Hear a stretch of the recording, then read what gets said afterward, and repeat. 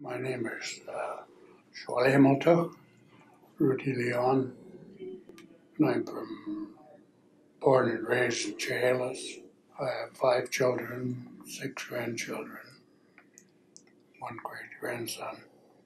And uh, I grew up with elders uh, teaching uh, survival mostly. Uh,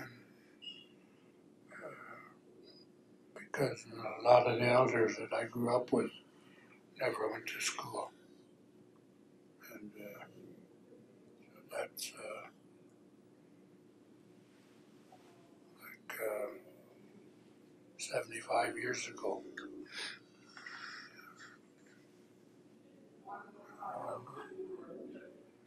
I've been a logger all my life.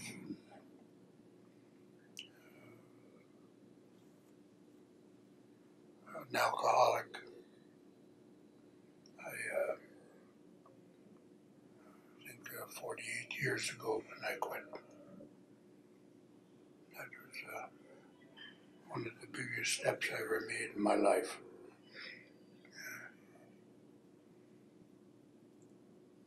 I'm glad uh, I go to quite a few places uh, to speak to children. Not about really education, but like I said, survival. How to set up your life that you want to learn. That's uh, what I understand it anyway. Thank you. I'm Siyamtelot. Shirley Leon is my name. My maiden name is Marshan. I'm Okanagan by birth and was born on the Okanagan Band Number One at Six Mile Creek. and or I was born by Skookum Mine Trail, right on the road, wagon road in those days, and. Uh, just really happy to be here and happy to be part of this. To me, I think uh, education is very important, no matter what you do. What, it's what you set your mind to, to what you want, what you want to do by getting educated.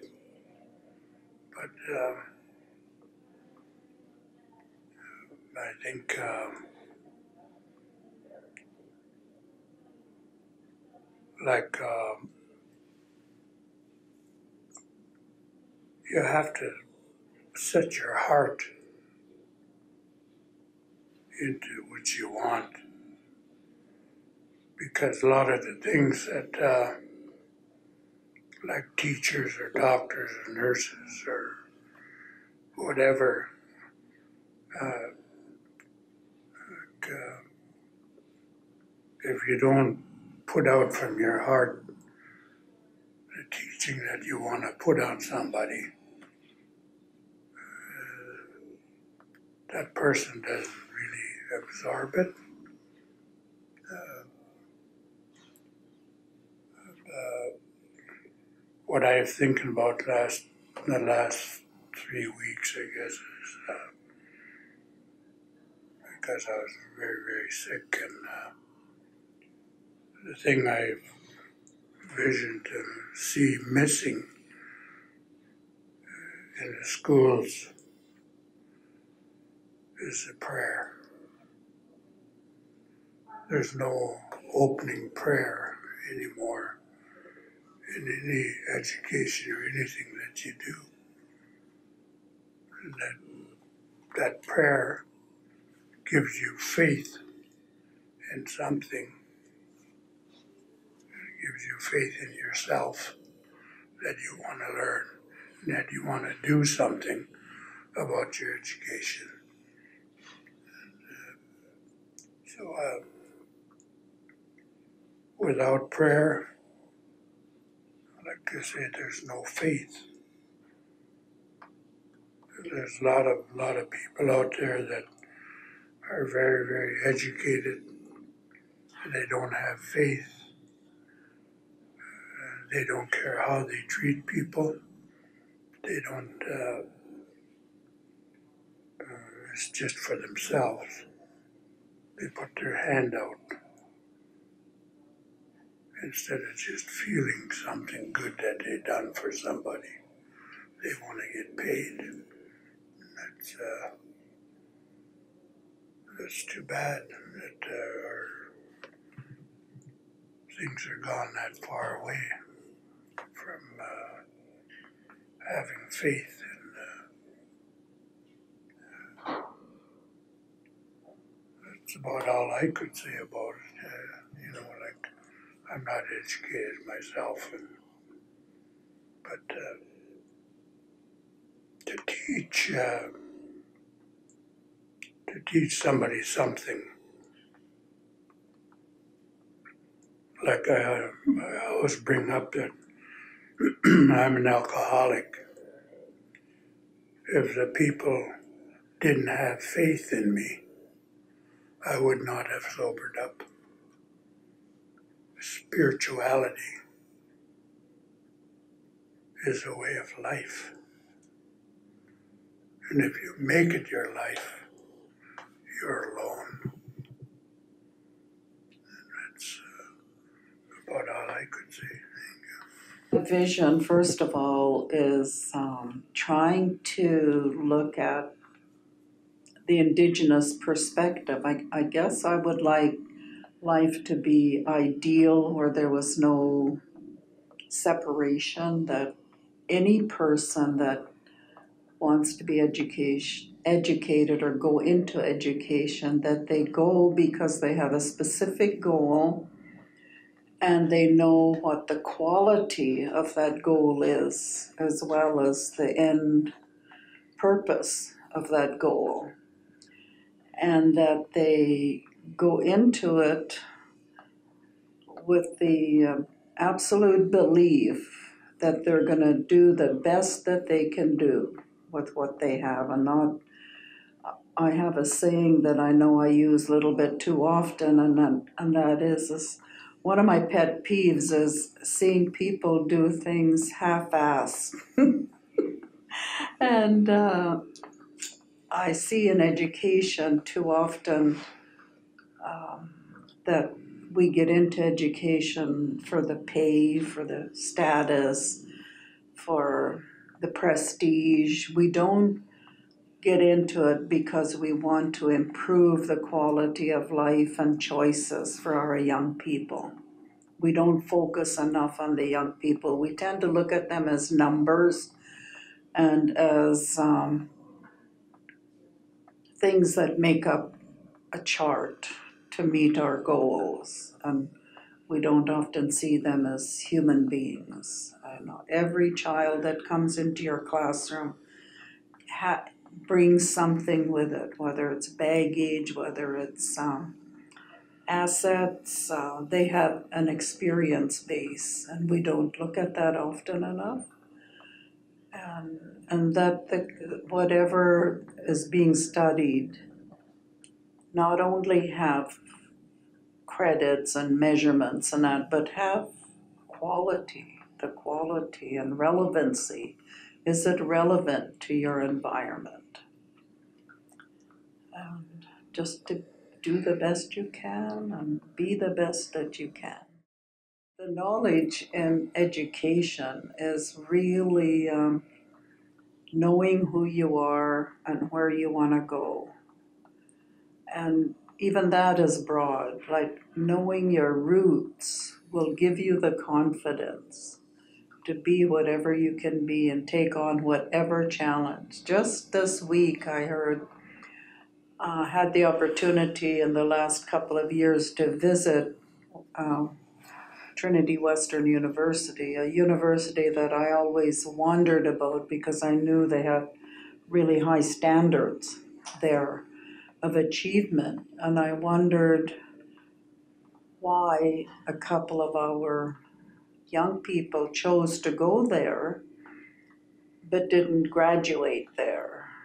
And, and thinking that first it would be a religious program and they would still be a very would be kind of a double minority. So why would they choose to go there? So when I actually got there and met six Indigenous students who seemed very happy to be there. You know, we were greeted with gospel music and songs and a prayer, and it was reinforcing my image of what uh, Trinity Western was, but I didn't expect to see the the confidence and the the satisfaction in these six students with hundreds of other students there.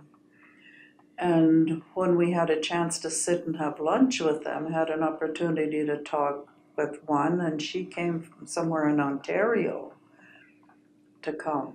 And that's a long way away from your roots to come there. And that same student now, it challenged, she's graduating this, this year with a master's, I think. and she challenged the, um, what would you say, the cr- credits, I guess, to ask that she be allowed to do um, a movie on some topic. And the movie was based on Indigenous experience, is based on Indigenous experience, but it's it's also based on the focus is on Indigenous experience, but it's from a, a parable from the Bible. And it's going to be premiering soon in, in March. And I, I you know, to think here is this little person, this little lady taking on the challenge of this prestigious university and daring to ask for an exception to be made just overwhelms me and it just gives me such pride in uh, our people. That's what I think needs to happen more often is that we take on the challenges to change things when we see it's out of balance or it's not focused or it's irrelevant. I guess it's to uh, the culture and your traditional things. You have to, if you want to put that out, uh, I always bring this up when I'm speaking uh, to our younger people. You talk about what you know, not what you think you know.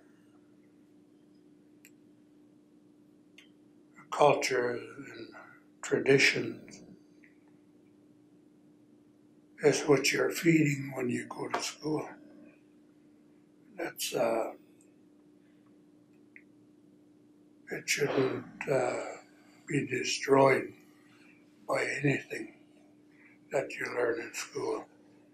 And that's what uh, elders should be uh, aware of, that uh, they should be talking about.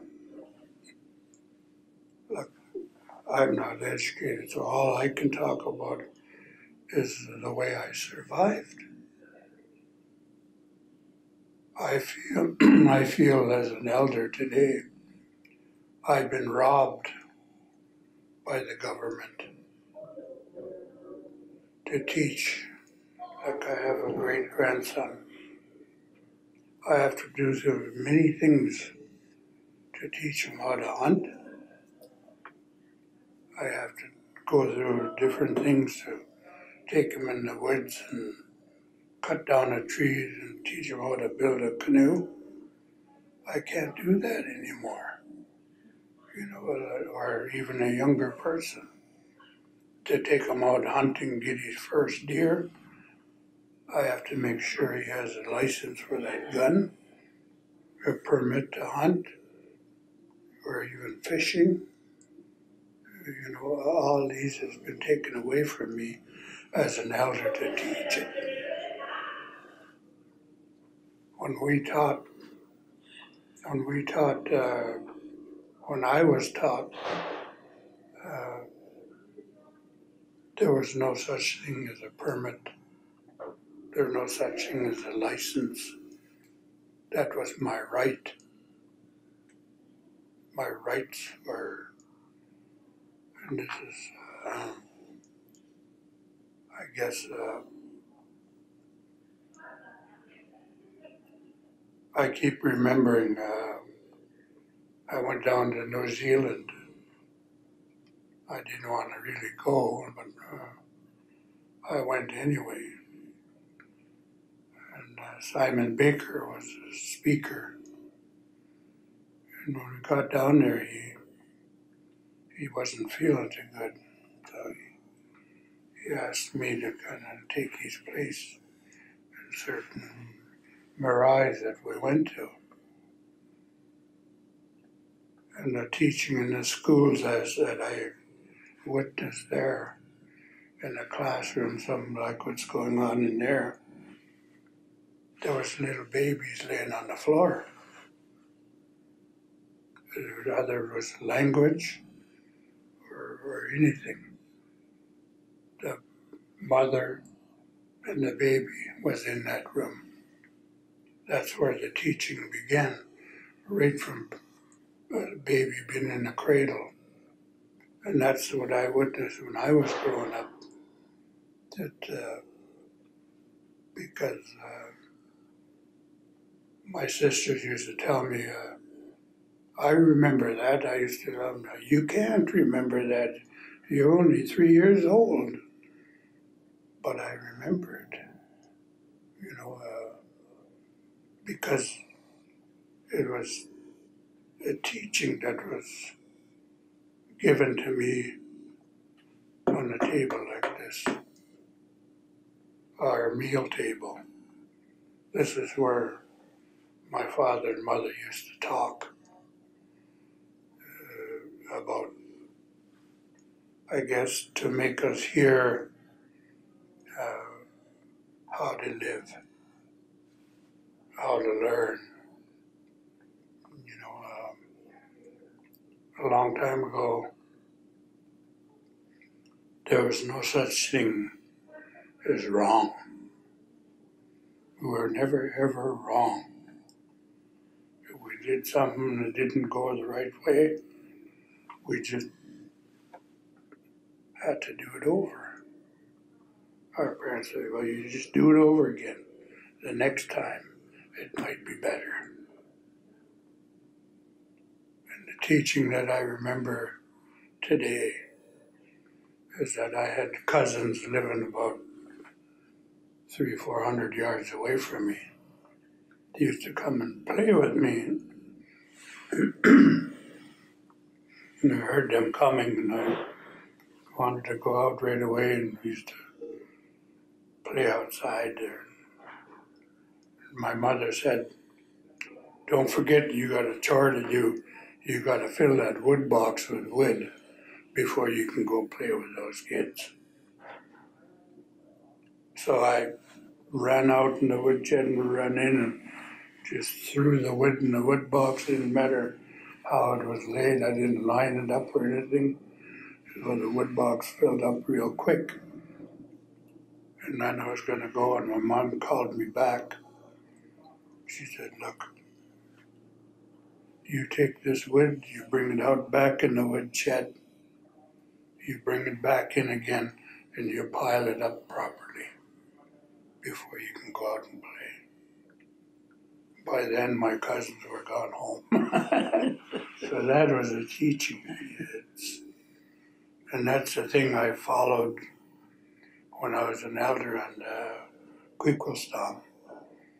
that's how all these things is what I brought out to teach people, our younger generation that was in trouble, like say with poaching, fishing, or whatever, or stealing. Uh, they weren't punished by one person. They weren't punished. They had to make up for what they done, not just pay a fine whatever. That uh, just to pay a fine doesn't fix it. Uh, so I think that uh, elders group that we have today is, uh, is a good thing. Keep reminding us, like my wife said, uh, the thing that I was taught is who you are, what you are, and where you come from. My dad said if you apply that to your life and live it, no matter what you do or anything,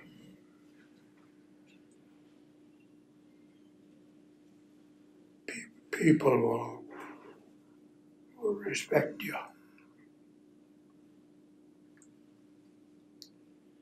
I thought that over for years and years. And I thought of who am I? So I start saying, I am Swelimeltexw. My name is Rudy Leon.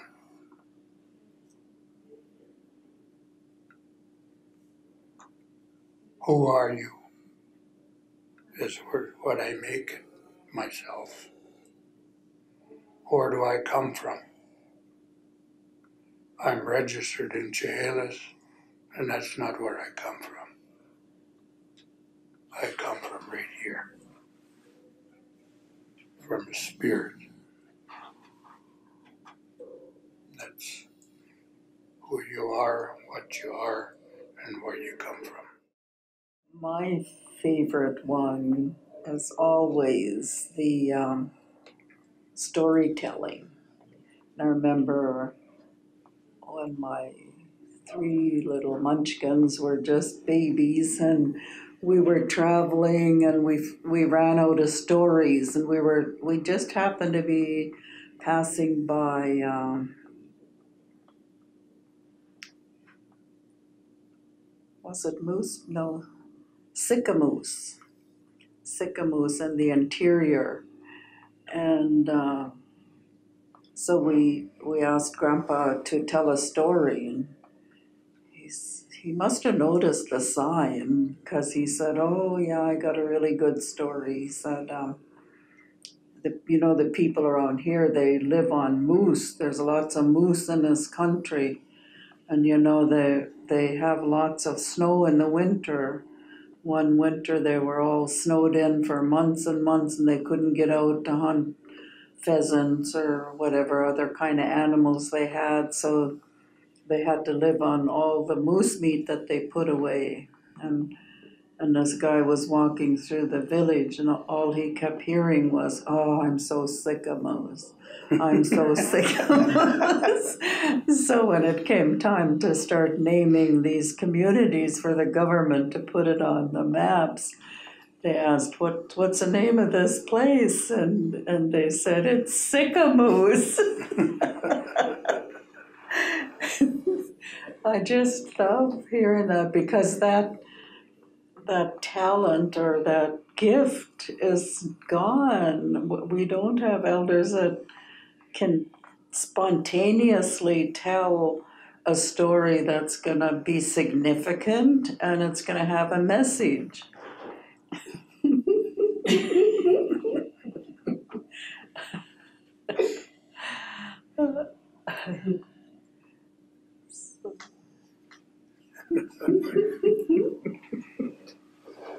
yeah, there was a lot of stories I heard.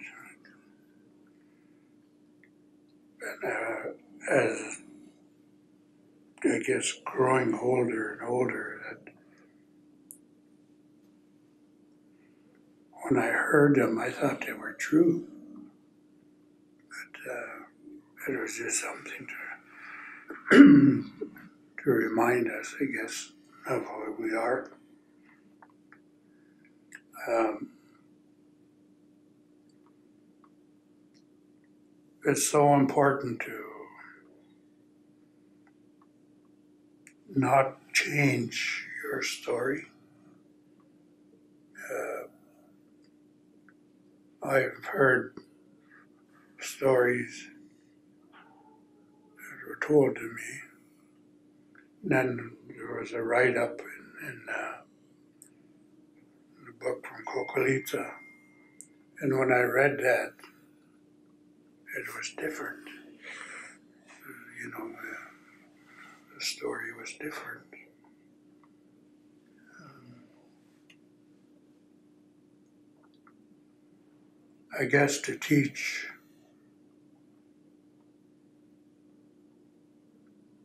somebody how to live.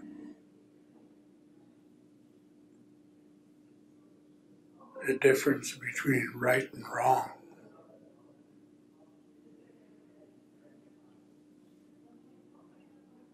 Is uh, very, very important to make a, a child understand. The kind your grandma here you used to, when I first started sobering up, she used to say, You feel like talking? Yeah, I said, You will talk. We'd sit down and talk by the time we finished talking, we were kind of disagreeing with each other. This went on for quite some time. One day I come home from work and I was really, really tired and upset about something. She said, Oh, you feel like talking? I said, Yeah. We sat down and I said, But this time, let's talk about what's right and what's wrong, not who's right and who's wrong. That's uh, like I said a long time ago, nobody was in the wrong. If you see a, ch- a child misbehaving, it's not that child's fault it's the parents. The parents are not teaching that child how to act or anything. That's uh, this is what's completely gone in our ways. Uh, there's no long time ago. There's no such law any child to run around in the house or anywhere or scream and holler for nothing. That was a no no. I guess it's because uh, they might hear something that the elders were talking about and it'll stick there for the rest of their life one word. That's what I say. Uh, somebody hears one word and it hits them and they keep applying it to their life and then it becomes a part of their life. And It's uh, how to be honest, not to steal, cheat, whatever. You know, uh, that's all not here anymore. It's, uh, it's uh,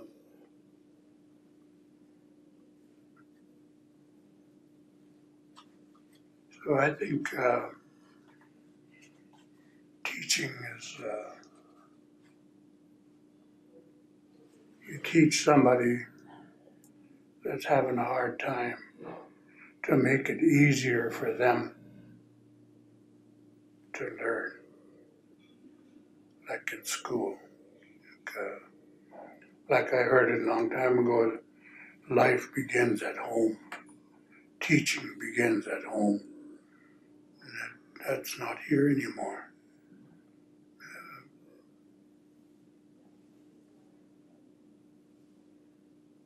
Uh, like kids uh, don't go home and tell their parents of what they learned or what they experienced at school anymore.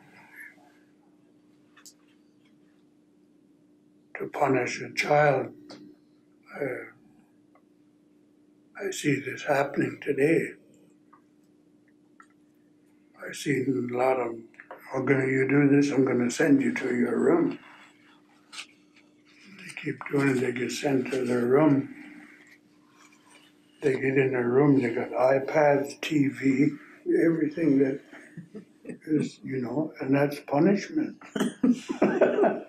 so, I don't know.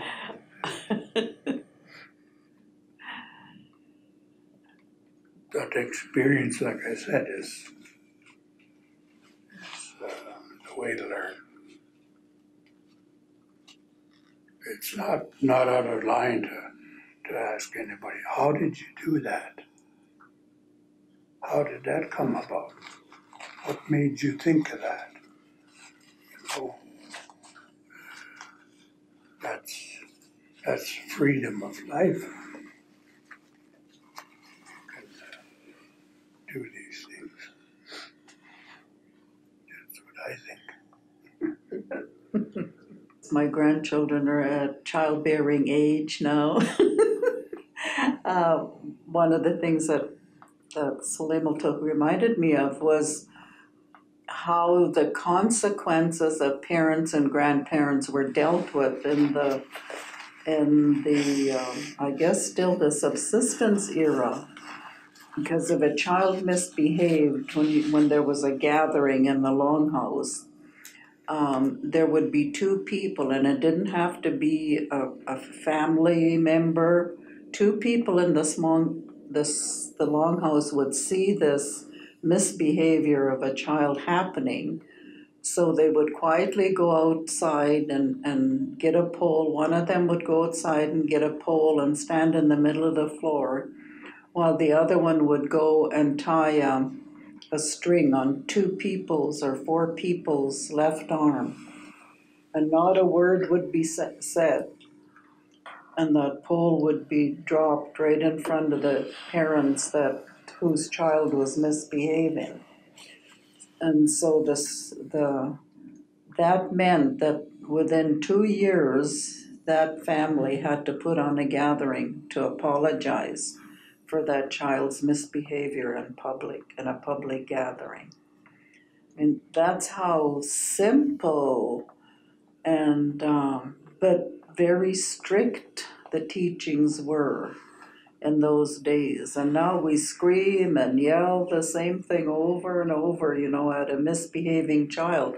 And he, he or she still does it. Doesn't matter how loud you holler, how much you scream. So we got to think hard and long about uh, what kind of teachings we give our young people to carry on with their children, so that that breaks that cycle. With with my children, we never had to lift our voice. The grandmother, um, their paternal grandmother, was the one that taught them. I never heard that lady ever raise her voice and I had five children. Every time we'd go out in, into a public place, there wasn't a word of scolding or screaming, or if a child was going to do something, they would automatically look at grandma, and grandma would either shake her head or nod it. They knew. Not a word. And that, if you told somebody that today, they'd think you're nuts, you know, you're not. yeah, right. or that was way back then. But I, I still believe those teachings can still work. What I say to my grandkids and great grandson, and I see them the way they're acting. I tell them, uh, my kids were never like that. but uh, yeah, that's. Uh, I have it pretty well all written down and writing a book and, uh, about how, much change has happened since, like I said, 75 years ago.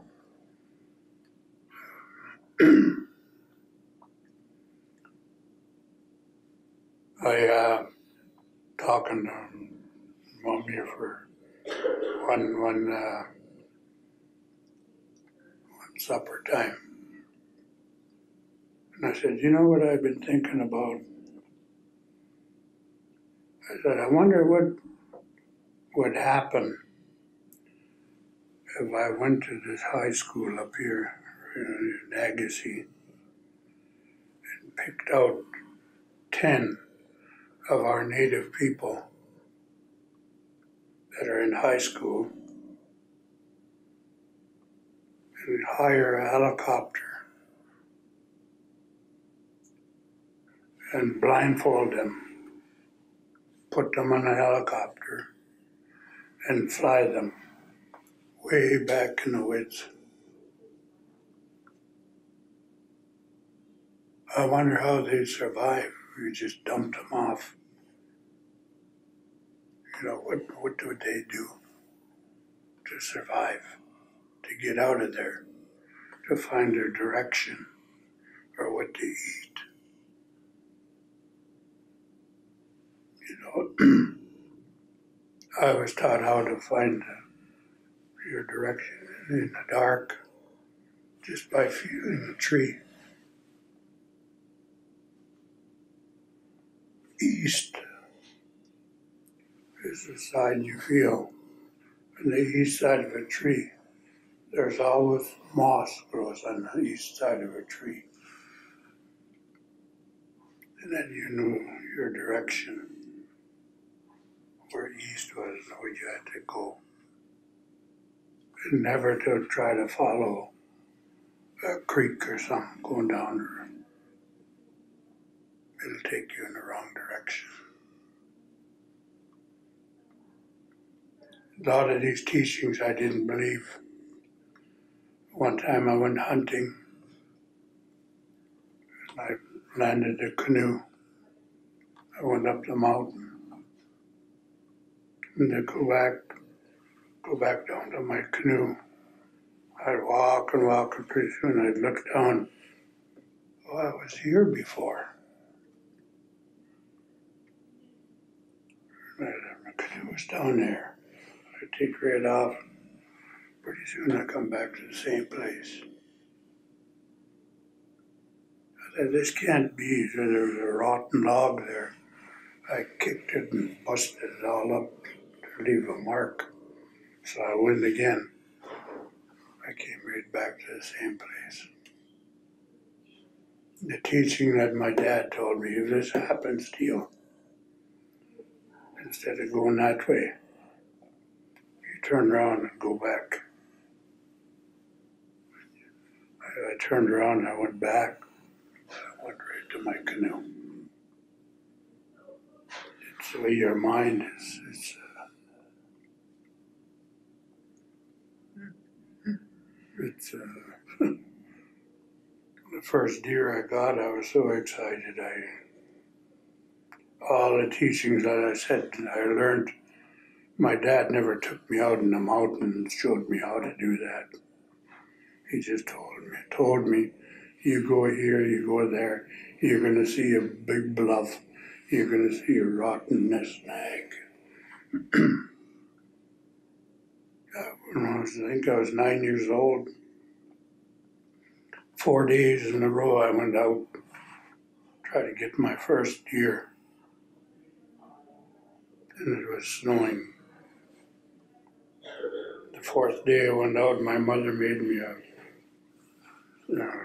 thing to tie around my waist, a sandwich in it. And, uh, and my dad told me, if you go out there, you got to start thinking like a deer. And he said, uh, I'll tell you something that you're going to see in, in your life. He said, if you walk over this, come to this bluff, you walk there and you look down, and if you see a deer laying down, you look at it. He doesn't have to hear you, smell you, but that deer will jump up and look around. It's just your eyesight. That deer knows that there's somebody looking at him. So the fourth day I went out hunting. It was about, this was in the winter time, it would get dark pretty early. I think about three thirty or something like that, I stopped and ate my sandwich. I was standing there in this open area, just eating my sandwich, and God, I felt like there was somebody looking at me. I turned and looked, there's this great big deer standing there. And I shot and I missed it. I was so excited. The second time I shot, I knocked him down. And I didn't get home till twelve o'clock that night. I got the deer down at the bottom of the hill, close to the canoe. By then there was about three feet of snow, but I would not leave that deer behind. No way. I got down to the bottom of the hill. I looked at it, oh my gun. I turned around and run all the way back up the hill again. I got there, my gun was leaning against the tree. My pocket knife was stuck in the tree. And I. Shuffled the canoe out with a paddle. So much snow. By the time I got to the slough where we go in, they call it Ed Leon Slough. I landed in there and uh, by this time the deer is getting stiff. Had a hell of a time to get him out of the canoe. I started dragging it backwards. I couldn't drag it, just drag it. I turned around and pulled a little bit at a time. All of a sudden I heard, heard a shot. I knew it was my dad. I loaded a gun and I shot back. And when I got just a little ways, I seen a light coming. He had a lantern. He was on snowshoes. Oh, you got him, me. Yeah. That's all he said. He had an extra pair of snowshoes. He gave it to me. He said, Don't you ever leave home without these when it's snowing. That's all he said. The next morning, he said, "Oh, I'll teach you how to skin it and cut it up. Uh, Went out in the morning, we skinned it, cut it all up. We had used to have all these sacks. My mom used to wash them so we can put things in there. He said, You go in there and get 12 sacks. So I went in and got and cut that deer up and put all pieces in each sack. He said, You you harness up the horse, you go down in the reserve and you give this meat to all your elders. All of it? Yeah, he said. so I went, I did it.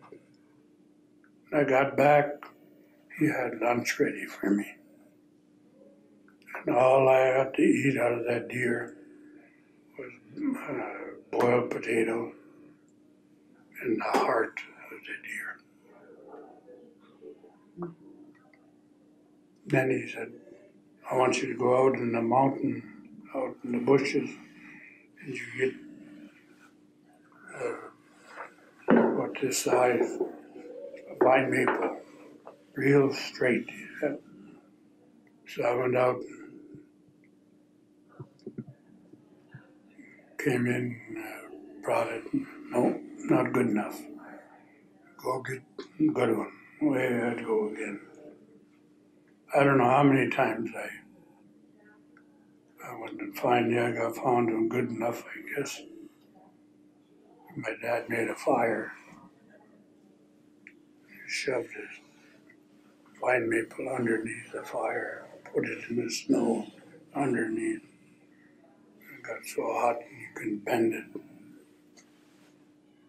That's what he made me do. He made me to remind me of not to forget snowshoes at home. he made me make my own.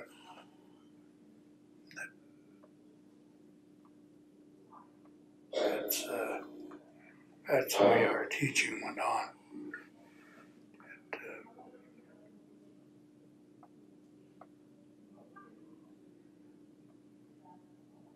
the hardest part, I guess, was I had to drink the blood the deer.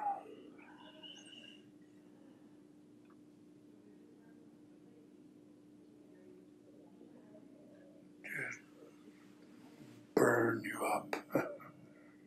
just get your body real hot.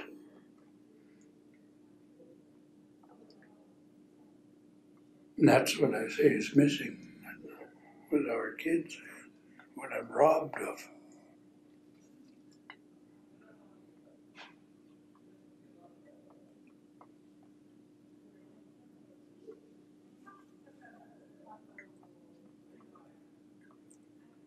And I asked him, how come I had to give all that meat away? He said, that's the way it is. And the next time you go out, you'll always be lucky. And he pushed that on us even when we were married already. He used to always say to us, there is such a thing as good luck. And the way he showed us showed us that, he used to bring us down here to Chinatown to have a Chinese meal to treat us. He said, uh, that gives you good luck if you feed people.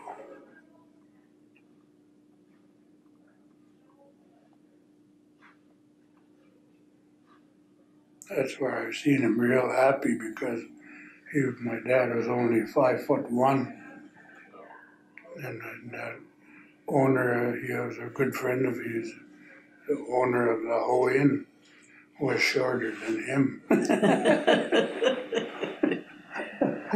he used to pat that little Chinese guy in the head.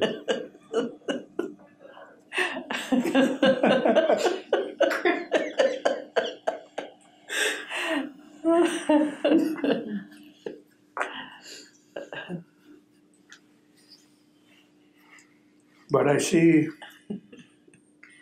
things starting to happen, like all these schools are inviting elders now. That's a good thing. They might have not have the right answers for you, like me, but they have ears to listen the heart to put out, showing that they care.